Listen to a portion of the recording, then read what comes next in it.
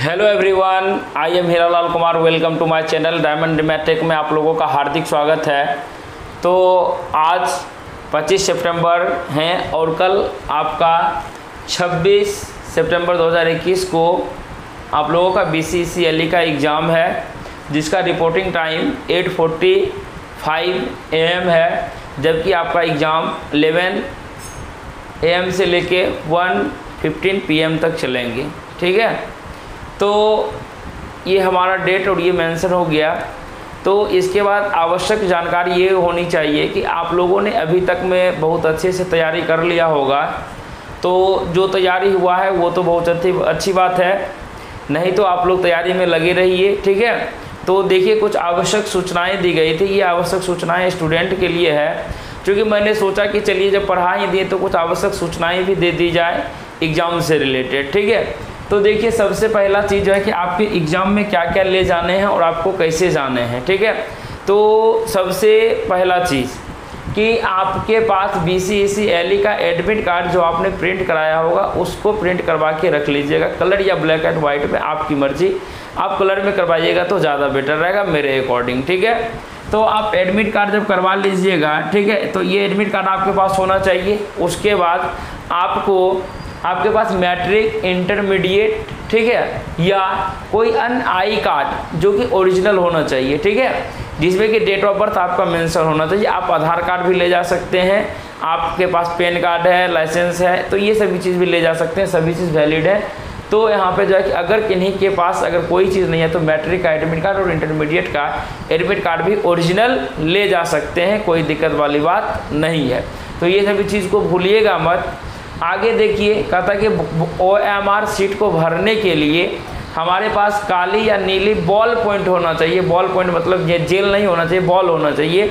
तो ठीक है तो यानी कि आप जो है कि मेरे अकॉर्डिंग आप ब्लैक पेन को ही लेके जाइएगा, ठीक है? ऑप्शन रंगने वाला अलग आता है। ऑप्शन रंगने वाला कहिएगा, दुकान वाला दस रुपये में देता है, वो ले लीजिएगा और एक जो है कि पतला वाला जो हम लोग लिखते हैं जनरली रफ करने के लिए उसको ले लीजिएगा, ठीक है? आगे देखिए, और आप अपने साथ में अगर आपको एग्ज़ाम देने वक्त पानी की ज़रूरत होती है तो पानी के लिए आप जो है कि 500 ग्राम पानी की बोतल इन पर आप एक लीटर भी ले जा सकते हैं, कोई दिक्कत नहीं है। वहाँ पे पानी की बोतल आप ले जा सकते हैं। 50 एम वाला हैंड सैनिटाइज़र चूँकि कोरोना चल रहा है, और जो है कि विद्यार्थी कैसे जाएँगे? तो विद्यार्थी के जाने के लिए मास्क बहुत ही नेसेसरी है। उसके बाद चप्पल में होना चाहिए, जूता पहन के मत जाइएगा, ठीक है? उसके बाद हाफ़ शर्ट यानी हाफ़ शर्ट यानी हाफ़ टी शर्ट भी पहन के जा सकते हैं, ठीक है? उसके बाद लड़ गर्ल्स लोग जो होंगे वो कुर्ती पहन के जाएँगे, ठीक है? तो ये चीज़ दिया हुआ, ये ऊपर का हम लोगों का चीज़ दिया हुआ, नीचे में जीन्स भी पहन सकते हैं फुल पेंट भी पहन सकते हैं, सब चीज़ चलेगा। लेकिन देखिए, उसके बाद ये तो हमारा एग्ज़ाम में लाना अलाउ है। तो कोई चीज़ ऐसा भी होगा जो एग्ज़ाम में लाना अलाउ नहीं है तो जैसे कि माने कैलकुलेटर की बात आती है कि बहुत सारे बच्चे के मन में चलता है कि चलो मेरा एग्ज़ाम जब हम डिप्लोमा का एग्ज़ाम सेमेस्टर देते हैं तो हमारे लिए जो है कि वहाँ पे कैलकुलेटर अलाव क्या यहाँ पर? यहाँ पे आपके किसी भी तरह के कोई भी गैजेट्स यहाँ पे नहीं दिए जाते हैं यूज़ करने के लिए। चाहे वो कैलकुलेटर हो साइंटिफिक हो स्लाइड रूल हो या ग्राफ पेपर हो चार्ट हो या किसी भी अन्य तरह का Bluetooth mobile phone ATM card और साथ में घड़ी भी नहीं आपको ले जाना है। ठीक है, वो समय बताएँगे आपको समय समय पर तो आपको घड़ी भी नहीं ले जाने हैं, ठीक है? तो जब उससे आगे बढ़ते हैं तो उससे आगे देखिए जो है कि आपको एक चीज़, आपको एडमिट कार्ड में देख लीजिए एडमिट कार्ड नहीं, जब आप एग्ज़ाम दीजिएगा तो एक चीज़ ज़रूर मिला लीजिएगा कि जब आपको एम शीट मिलेगा, उसके अंदर में आंसर बुकलेट होता है, ठीक है? उसका नंबर एम आर सीट का और बुकलेट नंबर दोनों हमारा सेम होना चाहिए। अगर ये चीज़ अगर किन्हीं का मैच नहीं करता है तो वो भिक्षक को बोल के वहाँ पे चेंज करवा सकते हैं, वो न्यू दे देंगे आपको, ठीक है?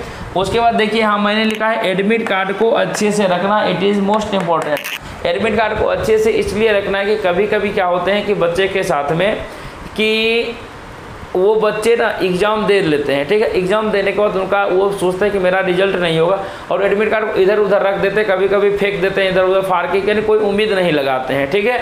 तो एडमिट कार्ड को आप अच्छे से रखेगा क्योंकि आप जब एग्ज़ाम दीजिएगा तो एग्ज़ाम हॉल में भिक्षक जो है कि आपसे सिग्नेचर हिंदी और इंग्लिश में करवाएँगे और वो भी अपना साइन करेंगे तो वही आपकी उपस्थिति को दर्ज करता है, ठीक है? ताकि आपको जो है कि जिस वक्त रिज़ल्ट आए, आपको परेशानी का सामना नहीं करना पड़े, इसलिए एडमिट कार्ड को आप लोग अच्छे से रखेंगे, ठीक है? तो उम्मीद करते हैं कि ये चीज़ अभी अच्छे से आप लोग समझ गए होंगे और जिनका डाउट है कि तैयारी में थोड़ा बहुत की कसर रह गया है तो वो जाइए आराम से इंग्लिश के वीडियो को देखिए। अगर मैथ में कुछ जानना चाहते हैं तो बीटा फ़ंक्शन गामा फ़ंक्शन हो गया रैंक क्या कहते हैं? आइजन वैल्यू आइजन वेक्टर का ये देख लीजिएगा क्वेश्चन सिंपल इंटीग्रल का देख लीजिएगा ऑर्डर और डिग्री निकालने के लिए सीख लीजिएगा, ये पाँच छः क्वेश्चन सीख लीजिएगा, आपका भविष्य यानी कि भविष्य क्या कि आपका रिज़ल्ट अच्छे से हो जाएगा और आप जो है कि अच्छे रैंक की प्राप्ति कर लेंगे और अच्छे कॉलेज में मनचाहा ब्रांच भी आपका मिल जाएगा, अच्छे से ट्रेवल कर रहे होंगे तो आप लोगों के लिए happy journey and best of luck for examination